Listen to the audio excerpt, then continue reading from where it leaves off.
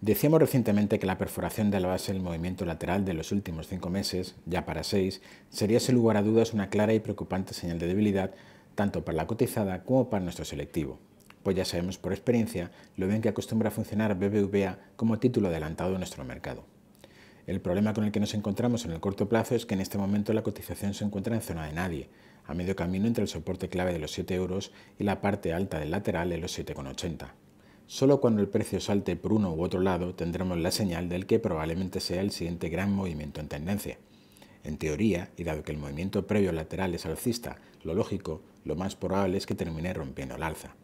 Pero no nos adelantemos y dejemos que sea el precio el que nos diga exactamente qué es lo que quiere hacer y cuándo.